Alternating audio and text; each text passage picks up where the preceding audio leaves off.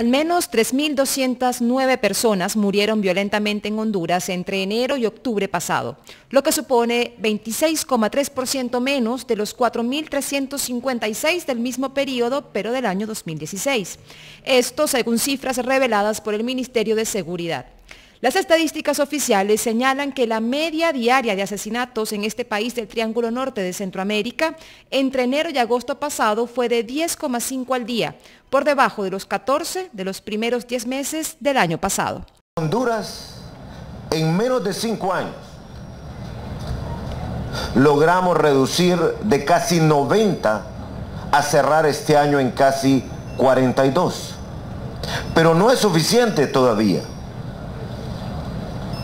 Pero este mes de octubre, este mes de octubre ha sido el mes de la incidencia delictiva más baja de toda una década. Ramos con 8.4 el promedio de este mes de octubre. Quiere decir, compatriotas hondureños, que vamos por buen camino. Honduras ha sido reconocida internacionalmente recientemente por los esfuerzos realizados para disminuir los índices de criminalidad y bajar las cifras de asesinatos. El gobierno además ha implementado una serie de medidas entre las que destacan el traslado de los presos más peligrosos a cárceles de máxima seguridad, en donde las medidas son más rigurosas para que no puedan delinquir desde su centro de presidio.